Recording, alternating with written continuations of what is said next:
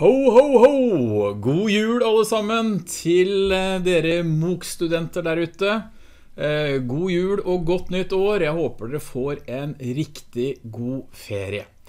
Til dere som nå er ferdige som studenter, så sier jeg takk for denne gang. Og til dere som skal fortsette på IKT PedMOOC, så ønsker jeg velkommen til ny MOOC rett over nyttår.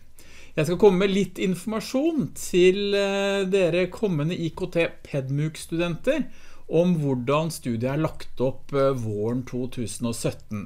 Vi har allerede fått en god del forespørsler om studenter som ønsker å begynne å studere, derfor denne korte introduksjonsvideoen.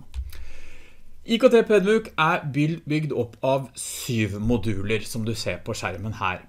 Og du kan eh, allerede nå begynne å studere modul 1 til og med 4. De er helt klare. Eh, du har fått en mail lille julaften med en invitasjon til det nye eh, Canvas-rommet der det går an allerede nå å begynne å ta eksamen. Og viktig, viktig, merk at denne sammensatte tekster-modulen har en eksamen i uke 9 allerede. Jeg skal komme tilbake til det. Men for dere som har vært inne og tittet tidligere, så kan vi fortelle at modul 2, digital studieteknikk, den er helt ny av året, og den ligger klar nå. Eh, modul 5, klasseledelse i teknologirike omgivelser, den er også ny, men den jobber vi med fin finishen på.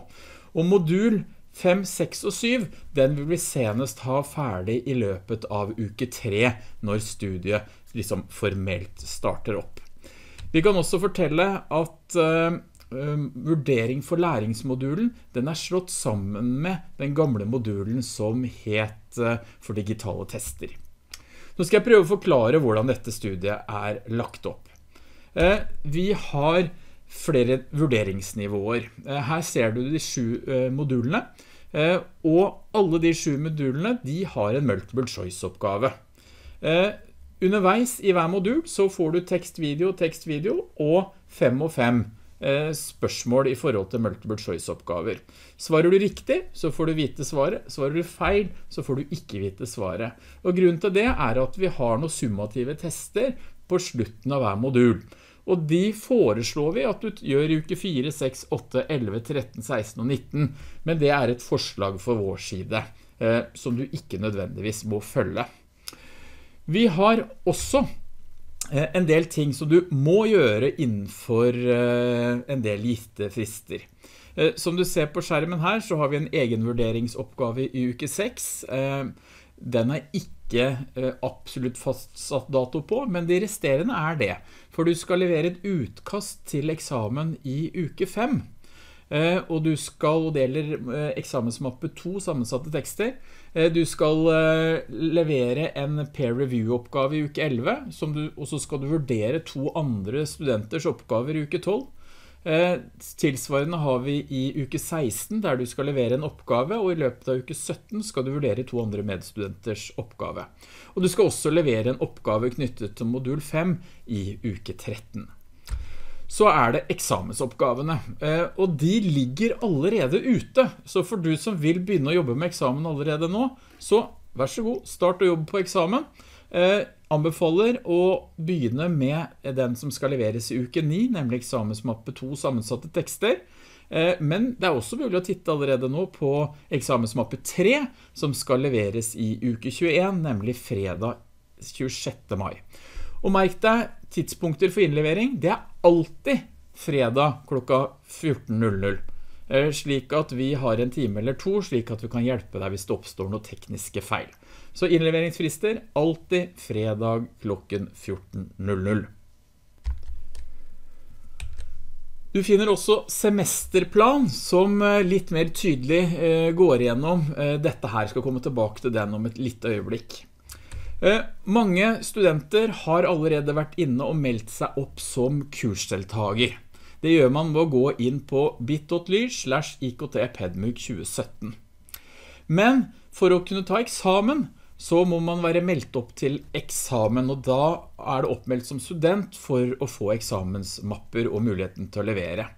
Og fristen for det, det er 1. februar 2017. Mange, 175, er allerede registrert, og du har også muligheten til å melde deg opp fram til julaften. Men det er viktig å vite, når du er registrert som student, så inviterer vi deg inn i eksamen-kanvasrommet. Eh, og hvis du lurer på om du er i riktig rom, så kan du titte på internettadressen på skjermen her nå, eller på Canvas når du er inne. Den skal slutte på 165. Og den skal ikke slutte på 140. 140-rommet, eh, det kommer du inn når du melder deg opp som kursdeltager til IKT Pedmuk 2017 eh, med bit.ly foran. Da kommer du inn i det første rommet som slutter på 140 og så etter hvert når du har fått opptak som student så melder jeg deg inn i rommet som slutter på 165 og det er der du finner innleveringsmappene. Til slutt så skal jeg ta deg med ut og så skal jeg vise deg hvordan ser nå dette ut eh, når vi skal eh, være inne i dette 165 rommet her er jeg kommet inn i Canvas-rommet. Her ser du som vanlig eh, informasjon oppe på toppen. Det er viktig at alle sammen melder seg inn i dette Facebook-rommet som eh, heter facebook.com slash groups slash iktpedmuk 2017.